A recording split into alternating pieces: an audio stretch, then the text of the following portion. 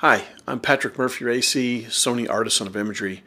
I'm here to wish you a Happy New Year. Uh, this video is about the 12 things that are most common to like stop your camera from working. And it can be very frustrating when you're like in the middle of a job and all of a sudden things aren't working right or the camera freezes up or it seems unresponsive or whatever. Autofocus is wonky. So I'm going to do the top 12 things that I've dealt with and I also put my head together with a couple of the Sony Pro reps and ask them about all their experience because they field calls like this every day. Um, so I feel like we've got a good set of 12 different things. Number one, my autofocus doesn't work. Some of the lenses have switches on them. If that switch, when you pull it out of the bag, accidentally goes to manual focus, guess what? It overrides every part of the camera entirely. So you're going to lose focus, autofocus privileges for everything, no matter what. So the first thing to check is that lens. That's number one. The second thing is I hear a lot of is all of a sudden people say, "Oh my gosh, my eye autofocus doesn't work." Those of us that shoot a lot of portraits and shoot people, photojournalism, we rely upon Eye AF every day. Uh, it's such a gift. And when it doesn't work, we freak out, right? Well, actually, what's often happening is people are upgrading their cameras. They're getting into a camera like the A9 II or the A7R4 or even the A6100, the A6600 these cameras have tracking autofocus. When the camera is set to tracking any of the tracking modes, it will no longer show you um, Eye AF. You won't see a little ball on the eyeball anymore. But when you see that square with a line on either side of it, it's it's doing more than just Eye AF, but Eye AF is active as well as face detection and it's recognizing pattern and color, uh, movement, all the different things, distance, all the things that the, the system does. So don't be freaked out uh, when you see the square with the two lines, the tracking symbol. Uh, that icon is telling you everything is cool. I've got this person. I know where their eyes are. I know where their face is. Everything's good. And you can. Number three, the AF point is in the corner of my viewfinder all the time. I don't know what's going on. Now, this is a pretty common problem. And what's happening is people are carrying their cameras against their bodies like they used to with DSLRs. It's a bad idea. Look at all the buttons on the back of this camera. There's tons of them. And any of these buttons can cause you, if you bump it, it can cause. So, what's happening a lot is people are walking around and they're dragging the joystick around.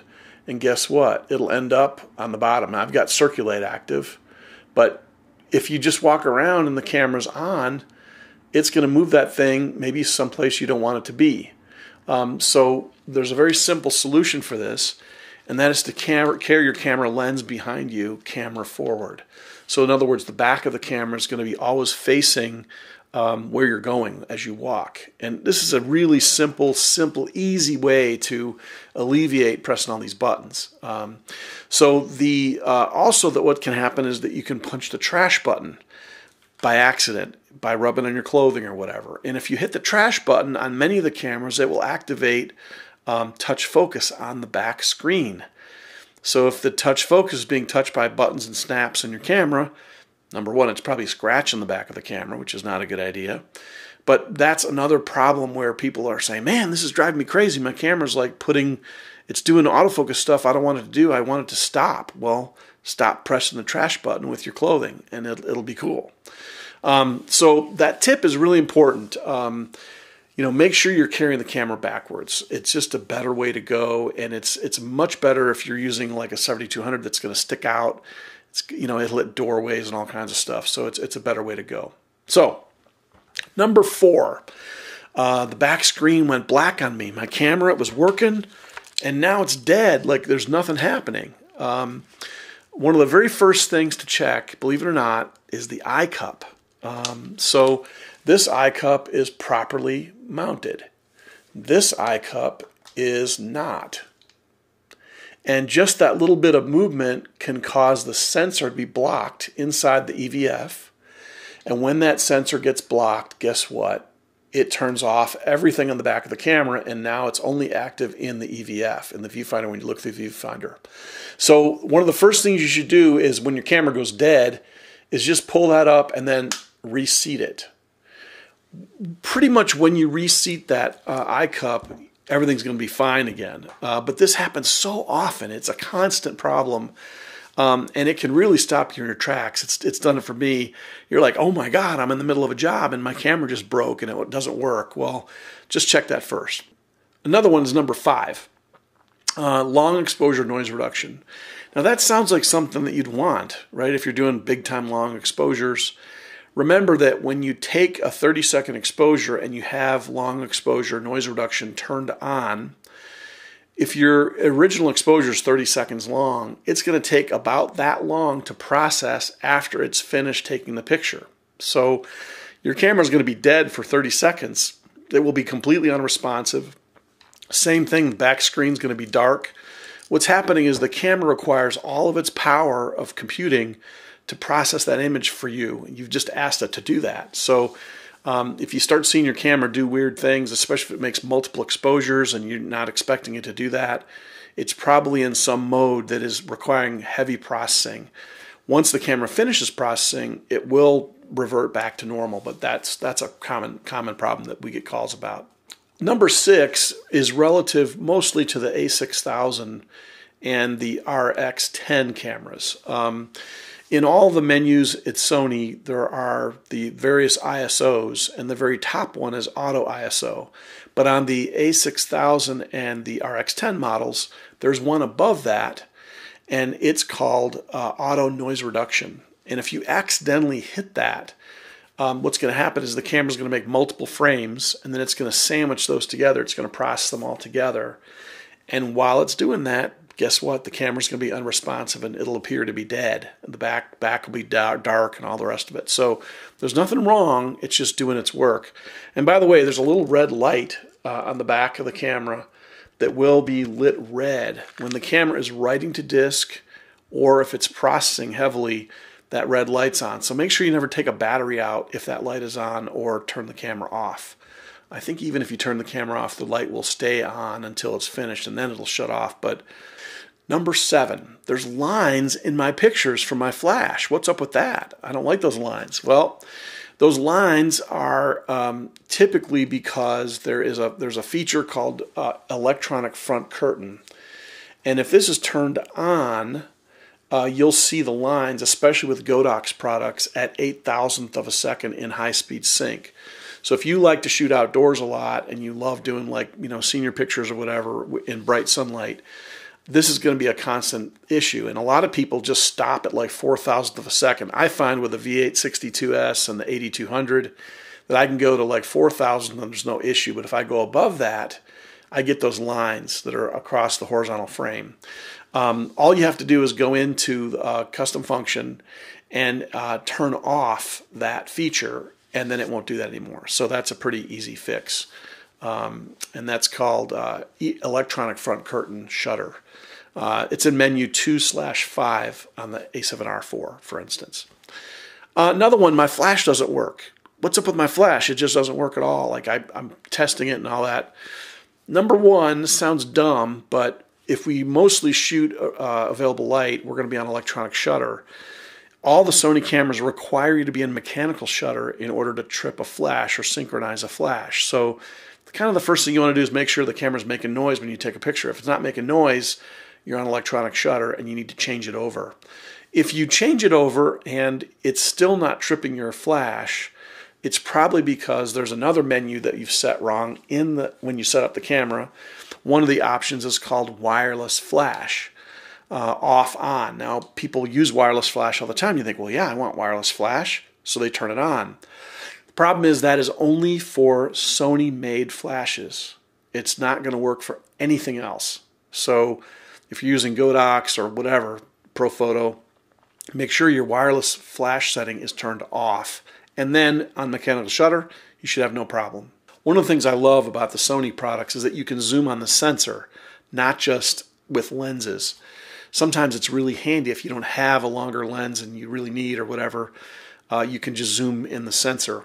When you do that, the camera is not able to resample the APS-C that you're looking at now and make it full frame in the viewfinder. So it's going to appear to be fuzzy and out of focus. It's not a problem because the image is actually okay. So don't freak out. uh, when you do this punch in feature. It, it's it's going to be fine, but it's that's what's happening. That's exactly what's happening. So don't don't worry about it. Number ten. This is relevant just just to the A9 II. Um, occasionally you'll pick it up, and all of a sudden there's these bizarre, weird shutter speeds that you've never seen before, even with a decimal point and digits after the decimal point. And you're like, what is going on? Um, don't freak out. Your camera's not broken. Okay. What's happening is this is an anti-flicker feature. So you've probably turned on anti-flicker.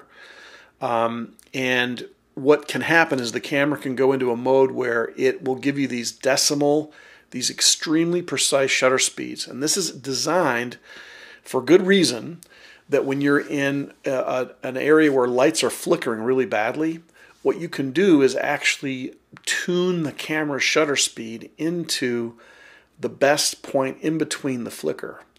Um, it's kind of cool that Sony has done this. Uh, most people don't even know what it is, but it's a really cool feature. And so this would be like an Olympic feature. Like if you're going to go and shoot speed skating, for instance, indoors for two weeks straight, um, you know, all the trials and all the heats and everything, um, you'll have the time every day to go in and, and just experiment and figure out and test and find the sweet spot. If you tune in the camera to those exact um, place in between the flicker of the lights, you should be able to achieve slightly faster frames per second on the motor drive side. Um, remember, when you go to anti-flicker, Sony advertises about eight frames a second, but it really varies.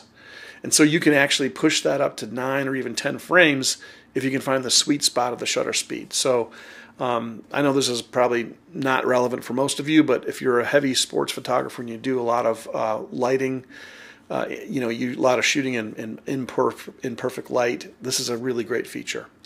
Number 11, people call me sometimes and say, Pat, there's an airplane landing in the middle of my viewfinder. What the heck's going on? Well, that's the level thing. And what's happened on the back of the camera, once again, at the top of the, the 12 o'clock setting, there's a little thing that says DISP display. Um, if you just keep pushing that button, it will cycle through various different uh, displays. And one of them is the level, and there's other ones too. Number 12. This one's really important, um, and this is the one that you hit. This is your last ditch effort to keep from sending the camera into a Sony authorized repair center about 90% of the time, this will fix the camera. Uh, let me explain. In the menu system, I'm going to turn the camera on so you can see it here. In the menu system, the very last one, um, there's a one called Setting Reset. On an A7R4, it's the suitcase menu number seven. It's the last one. When you press this, there are actually two options, and a lot of people miss the second one camera settings reset. Now, this is supposed to take all of your custom functions out. The important thing to remember is that when you press that button, you are not going to reset the camera like it came out of the box. It's not going to be a default setting from the manufacturer.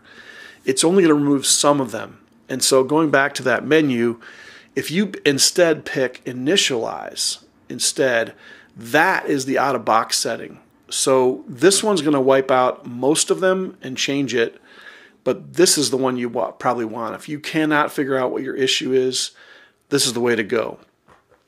Once you initialize the camera, you're going to have to start over and you're going to have to actually build up all of your custom settings again. But it will probably fix whatever is wrong.